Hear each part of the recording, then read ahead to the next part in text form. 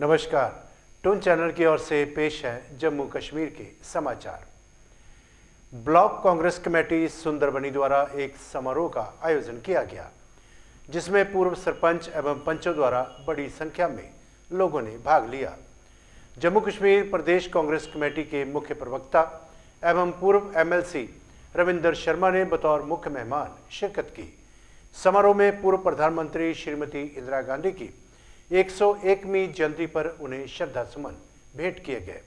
श्री शर्मा ने उनके योगदान को याद करते हुए उन्हें गतिशील नेता के रूप में वर्णित किया, जो हमेशा गरीबों और कमज़ोर लोगों के प्रति प्रतिबद्ध थी, तथा वे गरीब लोगों की मसीहा थी।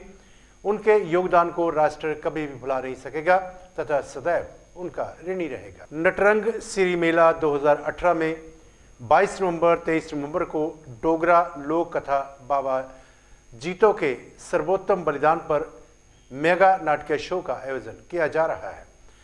नटरंग स्टूडेंट थिएटर में निदेशक पद्मश्री बलवंत ठाकुर के निर्देशन में आयोजन को विशेष आकर्षण का केंद्र माना जा रहा है।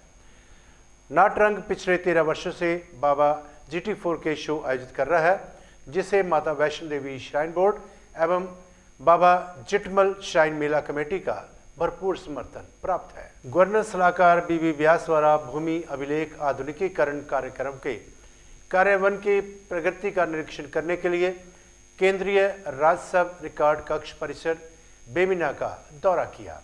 सलाहकार को सूचित किया गया था कि राज्यसभा दस्तावेजों का संरक्षण, नवीनतम जमाबंदी, को डेटा प्रविष्टि और नवीनतम उत्परिवर्तन रिकॉर्ड के साथ, अद्यतन के अलावा नवीनतम डेटा के साथ मानचित्रों का डिजिटलीकरण किया गया है।